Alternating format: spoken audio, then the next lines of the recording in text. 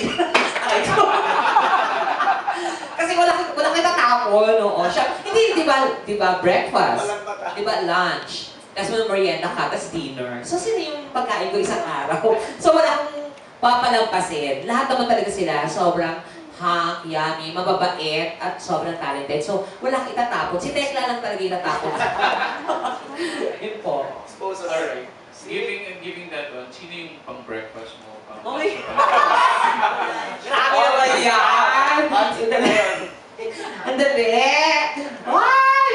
Ano ba yan? Siguro breakfast ko, si ano, ah, yeah, oo. Kasi ano eh, medyo, pag breakfast kasi mga hot dogs, di ba, mga ganon. Tender, yung mga ganon, juicy, mga ganon. Oo, yung lunch ko naman, actually, sa totoo lang, si, ah, si Jack, Oo. Tapos yung merienda ko siguro si Dave. Siyempre, dinner, yung mga pang ano na yung mga pang hotel, mga gano'n. so yun, okay na ha? si Tekla, ano lang yung midnight snack, pwede kalimutan. Ay, matulugan. Oo, gano'n. So, pang himagis na si Dave. Oo, gano'n. Alright, thank you. Thank you. Love the Okay, question. ang question lang, how, gano'n kayo ka magiging hands-on din sa flow ng program? Meron bang mga limitations na binigay sa inyo or kahit anong gawin niyo dun sa script or kayo na yung bahala sa program na or segment na gagawin niyo dun sa concert? Um, Siyempre ano pa rin, uh, walang walang limitations na binigay sa amin. Pero siyempre, um, as a person, as a human being, siyempre that may respect pa din yung ano, ginagawa namin sa isa't isa. And um, sa mga viewers. Pero, um, kasi ka- kami nilaro ko before, ano eh, nung nagbabatuhan kami ng mga ad-libs namin, parang hindi, yung iba, yung iba ron hindi scripted eh. So, um, depende pa ngayon kasi kami medyo conservative kami ngayon. Eh, ngayon, nandito na sila Donita na talagang ilalabas yung ah, dark side. so yun, pwedeng ano, pwedeng siyang maging extra-extra uh, kesa sa before. With Nita and Te- Tekla, meron bang gano'n na limitation na binigay sa inyo or wala naman? Go lang. Ay, wala po. Kahit pwede nga kami maghubad ni Tekla kung pwede. o baka talaga kami nakatawan. Pero wag na, baka ma-disappoint pa sila. Yung mga guys na yung maghuhubad. O. Pero walang limitations dito. Sabi nga namin, actually, pwede kaming ah, maglabas pa ng idea during the show. Ah, kumba, ah, we have, oo, kumbaga parang mas maganda yung usually ganun eh, parang fresh. Bumibigla na lang yung kapatid, parang, uy, ano to?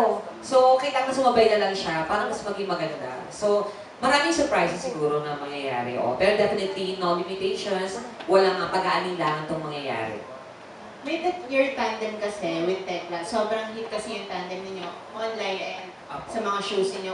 What, madidescribe yung naging, bakit, bakit naging ganun ka-click yung tandem ninyo dalawa? Paano naging ka, ganun kadali ang batuhan ninyo?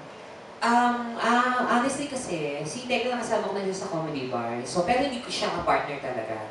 Ngayon, nangailangan si, ah, si Kuya ng parang guest, sinadjust ko siya. So, naging okay. Doon na nag-start yon kami dalawa. So, minsan kasi may mga excel. Si Tekla, to be honest, ma magaling sumagot. Ako naman yung taga-isip. So, definitely, nag-match kami kasi sabi ko ito, ganyan, ganyan, nasa isip ko, sabi ko sa kanya, tapos masasagot niya. So, doon, doon kami nagkakaroon ng surprises sa bawat isa na parang hindi ko inisip to ah, hindi ko na-expect na sasagutin mo ng ganito. So, nagkakaroon kami ng parang live na pagkapatawa doon mismo, oras mismo sa time na yon. So, ang maganda talaga sa kanya, magaling siyang sumagot na sa timing. Tsaka, nakakatawa talaga yung itsura. O, tsaka negative positive kami, di ba? Nakita mo naman, ako naliligo, siya hindi, di ba? O, toothbrush ako, siya hindi. Di ba? Maganda ako kahit pa paano, siya hindi. Charot.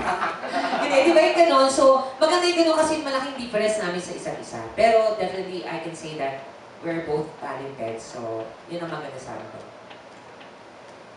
Thank you po. Kumbaga, in and yang kayo. Oo, ganun. Balance. Na-mention mo earlier, Rocco, na doble yung effort. Ano yung ginagawa niyo preparations for... I know na hit naman kayo, pero special effort for this. Parang nahirapan na mag-workout. eh. Gusto magpa-implant sa lang ng abs.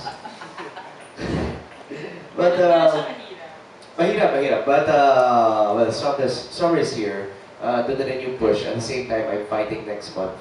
So, Kaya may match ko. May 13, so sakto a week before oboje sve.